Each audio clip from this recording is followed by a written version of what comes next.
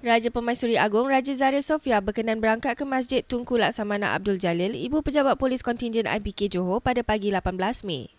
Baginda hadir bagi memberi penghormatan terakhir kepada jenazah dua anggota polis terkorban dalam serangan berdarah di Balai Polis Ulu Tiram.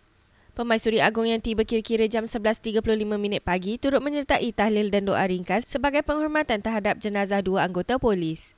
Hadir sama Menteri Dalam Negeri Datuk Seri Saifuddin Nasution Ismail, Ketua Polis Negara Tan Sri Razaruddin Hussein dan Ketua Polis Johor Komisioner M. Kumar. Setiausaha Kerajaan Negeri Johor Tan Sri Dr. Azmi Rohani turut hadir mewakili Kerajaan Negeri. Terdahulu, kira-kira 500 anggota polis kenalan dan waris menunaikan solat jenazah dua anggota polis yang terkorban dalam tragedi serangan berdarah Balai Polis Ulu Tiram pada pagi 18 Mei.